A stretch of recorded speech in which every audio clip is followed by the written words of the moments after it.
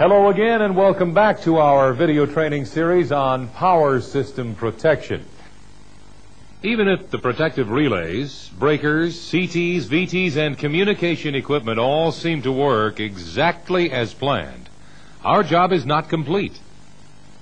We still need to investigate each disturbance after the fact. But why is it necessary to go back and analyze faults after they happen? Well, this is done for two basic reasons. First, to check that the relays and breakers are operating as intended, and second, to explain any misoperations and predict any future problems. Protective relays and breakers operate extremely fast. They can clear a fault in just a fraction of a second. Unless we can capture fault data and reconstruct what happened during that very short time frame, we would probably never be able to pinpoint the cause of relay or breaker misoperation. Furthermore, even if the protection seems to operate correctly, there could be problems that would go unnoticed if an after the fact analysis is not conducted. Here's an example that shows why every fault on the system should be investigated. In this simplified one line diagram, a high voltage 500 kV transmission system is connected to a 161 kV sub-transmission system through substation X. The YY transformer is equipped with CTs in the grounded neutral leads on both the high voltage and low voltage sides.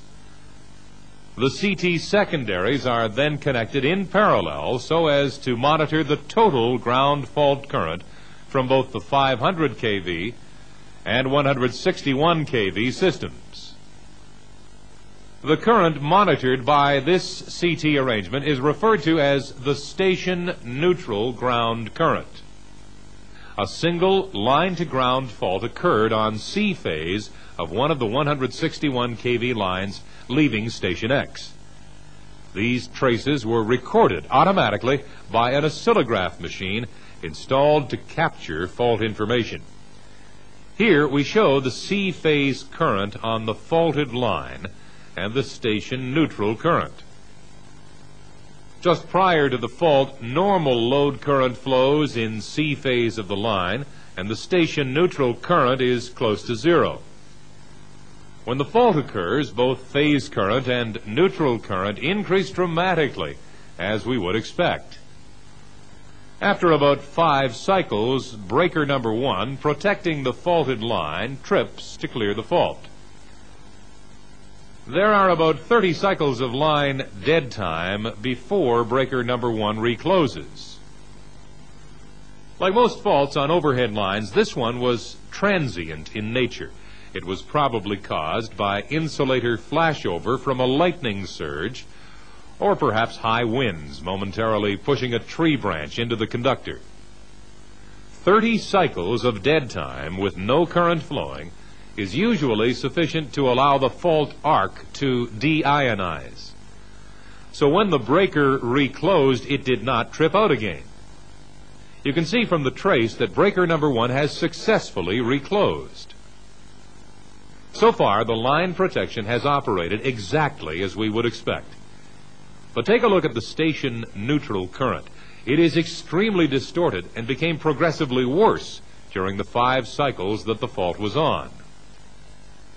Distortion like this is a clear indication of CT saturation. In this case, the saturation is caused by the fact that the fault current is not symmetrical. There is much more negative magnitude than positive. This offset in the fault current is called DC offset, and it has the same effect as adding burden to a CT. The CT secondary output becomes distorted and no longer accurately reflects conditions on the system. Now, you'll remember we discussed this problem in PSP 3. But you might say, if the protection worked okay, why should we worry? Well, the problem is that the same pair of CTs are also used to provide polarizing current for the directional relays on the line. This current is used as a reference to determine whether a particular fault is in the tripping or non-tripping direction. The direction of polarizing current is compared with the direction of current flow in the line. In this particular incident, the relays associated with breakers 2 and 3 on the 500 kV system registered the high current, but decided that the fault was in the non-trip direction. Carrier block signals were then sent to block tripping of the remote breakers. This is correct. The problem of CT saturation was noted on the fault analysis report for future consideration. Sure enough, a few months later, a similar fault occurred on the 161 kV system. But this time, the 500 kV breakers tripped incorrectly before the 161 kV breaker could clear the fault. Here are traces of the carrier signal that was transmitted from breaker number 2 during the fault and the C phase current seen by breaker 2. About three cycles into the fault, interruptions or holes begin to appear in the carrier signal. The holes are due to the extreme distortion in the station neutral current, that is, the reference current. How is this? Well, when the relays at breakers 2 and 3 compare the ground residual current with the distorted reference current, the phase relationship is unclear. The relays now mistakenly decide that the fault is in the trip direction and simultaneously suppress the carrier blocking signal. This allows the breakers on the 500 kV system to falsely trip for a fault on the 161 kV system. As before, this was a temporary fault, so all breakers reclosed successfully at high speed. The problem was solved by replacing the 161 kV neutral CT with one having better operating characteristics. There are two basic methods for gathering fault data automatic and manual. Fault data is recorded automatically on oscillograph machines and sequence of events recorders. An oscillograph machine starts automatically when a fault occurs. It records waveforms of selected voltages, currents, and communication signals. On the other hand, a sequence of events recorder constantly monitors the status of control switches, breaker contacts, and relay contacts.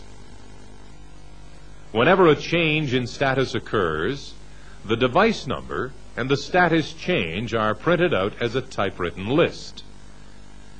These automatic recording tools will be described in more detail in the next segment. Fault